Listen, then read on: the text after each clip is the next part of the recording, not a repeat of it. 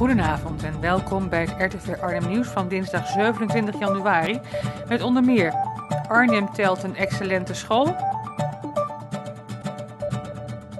Betaald avondparkeren blijft. En geen onafhankelijk onderzoek Klingelbeek.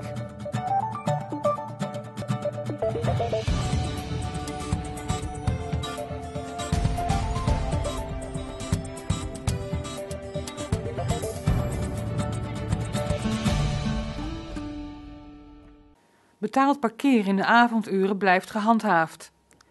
Een motie gisteravond in de gemeenteraad om een adempauze in te lassen haalde het niet. Slechts 13 raadsleden waren voor, 23 tegen. Sinds 1 januari moet bij parkeermeters tussen 6 en 11 uur 's avonds evenveel worden betaald als overdag. In drie garages van de gemeente is het tarief 50 cent per uur. Tegenstanders vinden dat Arnhem ongastvrij wordt en de middenstand dwars zit. En voorstanders zeggen juist dat parkeertarieven weinig invloed hebben op het parkeren. Burgemeester en wethouders namen een motie over om een tweede parkeervergunning in één huishouden mogelijk te maken. Die is alleen te gebruiken in de drie gemeentegarages en wordt duurder dan het eerste exemplaar. Na de wanprestatie van Vitesse tegen Herenveen heeft trainer Peter Bos even geen behoefte aan pers en publiek. Dat is het geval in de aanloop naar de kwartfinale voor de beker op woensdagavond. De Arnhemmers spelen dan tegen FC Groningen. Vitesse weet dat de belangen woensdag in de kwartfinale van het bekertoernooi enorm zijn. Verwacht wordt dat Bos zal ingrijpen, zoals hij ook al deed bij de wedstrijd tegen Herenveen. Het talent Kevin Dix lijkt zijn opwachting te maken ten koste van de falende Wallace. Na jarenlang gepraat over een veerpont tussen Arnhem-Noord en Zuid lijkt er eindelijk een verbinding over water te komen. Alex Mink, de Arnhemse wethouder van verkeer, verwacht dat de pont uiterlijk 2017 in de vaart is. In het oostelijke centrumgebied tussen Malburgen-Oost en de Nieuwe Kade moet deze verbinding het verkeer over de brug in de spitsuren ontlasten. Mink hoopt dat automobilisten zo vaker de fiets pakken en de veerpont is berekend op fietsers en voetgangers. Het komend weekend rijden er geen treinen tussen Arnhem en Doetinchem vanwege werkzaamheden. Vrijdag om 10 uur s avonds begint ProRail in Duiven en Zevenaar. Naar verwachting zal de klus maandag rond 8 uur s morgens geklaard zijn. Er worden onder andere bovenleidingportalen geplaatst en railsen vernieuwd. Op het hele traject tot Doetinchem kan niet worden gereden. Wie wil reizen kan dit met het openbaar vervoer doen. Arriva zet stop- en snelbussen in. De Arnhemse fotograaf Theo Bosboom heeft in de categorie Natuur en Milieu van de Zilveren Camera de eerste prijs gewonnen. Dat gebeurde met een serie over de verwoesting van een deel van het Nationaal Park de Hoge Veluwe na de brand op eerste paasdag vorig jaar. Deze foto's haalde het NRC Handelsblad en National Geographic. Ook sleepte Bosboom een derde prijs binnen met een serie herfst onder water en een herfsttafereel van een riviertje in de Belgische Ardennen. De fotograaf deed voor het eerst mee met deze jaarlijkse landelijke wedstrijd. Al drie jaar staan de gemeente en een groep bewoners lijnrecht tegenover elkaar. Om daar een einde aan te maken stelden de oppositiepartijen in de gemeenteraad een onafhankelijk onderzoek voor. Dit voorstel haalde het niet. Dat gold ook voor het plan om de gemeente te laten zorgen voor een oplossing van de wateroverlast. Wethouder Elfrink zei dat de gemeente wel verantwoordelijk is voor het openbaar gebied en dat hij die problemen laat oplossen. Als bewoners klachten houden, moeten ze naar de rechter stappen, vindt hij. Vandaag is in Burgerso een enorme Chinese draak met een hijskraan geplaatst. Dit beest is 40 meter lang en 6 meter hoog. Dit gebeurde onder het toeziend oog van 10 Chinezen die bij deze installatie betrokken waren. De draak maakt deel uit van een lichtspektakel met onder andere verlichte dieren van bekende Disney-figuren. Ze zijn allemaal in de dierentuin te bewonderen van 7 februari tot en met 1 maart.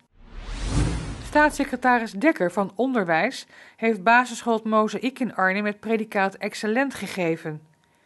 Dat wordt toegekend als een aantal jaren achter elkaar goede prestaties worden geleverd en een school ook nog eens iets extra's doet voor de leerling. Ja, ik ben vooral uh, heel erg trots. Uh, trots uh, op ons als school. Het is toch een bevestiging dat je het samen met, met je team, met de ouders, met de kinderen, dat je op de goede manier bezig bent. Dus vooral een gevoel van trots, dat, dat overheerst heel erg. Ik sta zelf voor groep 3 en als je het aan de kinderen vertelt, dan zijn ze ook blij van we hebben het samen goed gedaan. En ja, dan zie je ze ook juichen, hoor je ze ook juichen van yes, we doen het samen goed. Kinderen vinden het ook heel erg leuk. Ja, dat voelt goed. En ik vind het ook echt verdiend dat we hier op school, um, hoe we met de dingen omgaan, met de dagelijkse realiteit. Die kent problemen. En wat ik vind is dat uh, zowel leerkrachten als directie daar heel flexibel op reageren. We kijken wat belangrijk is, uh, wat belangrijk voor de kinderen is. We kijken niet naar de waan van de dag. En soms moet je daar gewoon aan voldoen. Maar soms is het ook zo om goed te kijken van wat daarin is echt nodig. En ik vind dat we dat uh, met elkaar en ook de directie heel erg goed doen. Ik denk dat het gewoon uh, heel erg van bovenaf begint. Als team willen we er samen echt voor gaan. We willen voor onze doelgroep gaan. We willen straks als de kinderen van groep 8 naar groep 8 naar het middelbare school gaan. Dat ze gewoon een grote rugzak vol hebben om, zich, ja, zover, om het zo ver mogelijk te kunnen schoppen in de maatschappij daarna. Heel belangrijk daarbij is dat we heel veel sturing krijgen vanuit de directie. Uh, daarnaast laat de directie ons natuurlijk ook heel erg meedenken. Maar we worden ook als leerkrachten heel erg gecoacht om ons eigen, om onszelf uh, goed te kunnen ontwikkelen. Nou, ik vind voor onze kinderen, we zijn een zogenaamde zwarte school, wat ze wel eens noemen, of kleurrijke school. En um, nou, wat, wat belangrijk is dat deze kinderen ook echt het gevoel hebben dat ze bij de maatschappij horen.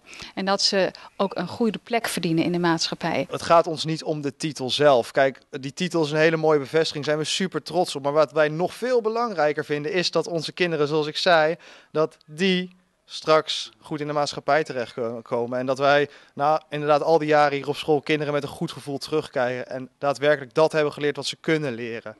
Ik vind het eigenlijk wel leuk dat uh, onze school, waar ik toevallig op zit met al mijn vrienden, excellent is geworden. En ik ben daar ook heel blij mee. Uh, ik vind het uh, heel goed en ja, heel knap van onze school dat ze dat hebben gekregen, samen met de leerlingen natuurlijk. En het is ook um, ja, voor ons ook een eer dat, dat wij hier op school zitten. We hebben heel goed onderwijs gekregen, vind ik zelf. Want ze geven ons goed les. bijvoorbeeld als er iemand niet zo goed in, in iets is, dat je zeg maar meer les krijgt, extra les. En ben je juist wel, wel goed, dan krijg je meer les om beter te worden. En dat vind ik wel goed, dat ze gewoon goed les geeft. Ook een beetje trots op de juffrouw of, uh, of dat niet? Ja, natuurlijk. Want als de juffrouw niet was, dan zouden wij uh, onze goede cijfers niet halen. En dan zou het niet duidelijk zijn dat wij goed les krijgen. En dan zouden we deze titel ook niet hebben. En gaat u dan ook uh, voor, de, voor het vierde tegeltje? Ik denk het wel. Ja, waarom niet? We zijn al langer bezig dan drie jaar. Dus uh, ik denk uh, de volgende die kan erbij. Sowieso altijd. Ja, tuurlijk. We krijgen het weer. We doen ons best. En dan zitten wij hier natuurlijk niet meer op school. Want we zitten nu groep 8. We gaan weg. Maar ik hoop dat ik het van mijn zusje te weten krijg. En van mijn nichtjes. Dat, dat we weer gewonnen hebben. Tot slot het weer. Het bleef vandaag bewolkt, maar het ging wel regen in Arnhem. Vanmiddag steeg de temperatuur tot 5 graden en de wind was matig. Vannacht is het helder en koelt het af tot ongeveer 2 graden. Morgen is er kans op regen met een middagtemperatuur van maximaal 7 graden, maar daarna komt er kou het land in. Wij wensen u nog een fijne avond, bedankt voor het kijken en graag tot morgen.